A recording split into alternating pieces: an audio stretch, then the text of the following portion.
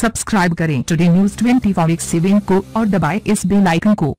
सड़कों पर चलते समय आपने उनके बीच में बनी पीली और सफ़ेद लाइनें देखी होंगी। कुछ लोगों ने इसके पीछे का कारण जानने की कोशिश भी की होगी तो कुछ ने सोचा होगा कि शायद ये सड़कों को डेकोरेट करने के लिए बनाई जाती हैं, लेकिन इसके पीछे वजह कुछ और ही है। आज हम आपको बताते हैं कि ये लाइनें क्यों बनाई जाती हैं। दो पीली लाइन का मतलब है कि आप अपनी ही लेन में गाड़ी चलाएँ और ओवरटेक न करें। सड़कों पर बनी टूटी हुई पीली लाइन का मतलब है कि आप लोगों को आसानी से ओवरटेक कर सकते हैं। लेकिन अपनी और सामने वाले की सुरक्षा सुरक्षा का ध्यान रखते हुए सड़कों के बीचों बीच बनी एक पीली लाइन का मतलब है कि आप ओवरटेक कर सकते हैं, लेकिन एक लेन से दूसरी लेन पर नहीं जा सकते हैं। हालाँकि, भारत के हर राज्य में पीली लाइन का मतलब अलग होता है जैसे तेलंगाना में कोई भी गाड़ी को ओवरटेक नहीं कर सकता। अगर आप टूटी हुई पीली लाइन के साइड में गाड़ी चला रहे हैं तो आप ओवरटेक कर सकते हैं। वहीं अगर आप लंबी लाइन के साइड में गाड़ी चला रहे हैं तो आप ओवरटेक नहीं कर सकते। सड़क पर बनी एक सफ़ेद लाइन का मतलब होता है कि जिस लेन में आप गाड़ी चला रहे हैं, आपको उसी लेन में चलना होगा। यानी आप अपनी लेन बदल कर दूसरी तरफ़ नहीं जा सकते। सड़क पर बनी टूटी हुई सफ़ेद लाइन का मतलब होता है कि आप अपनी लेन बदल सकते हैं, लेकिन बहुत सावधानी के साथ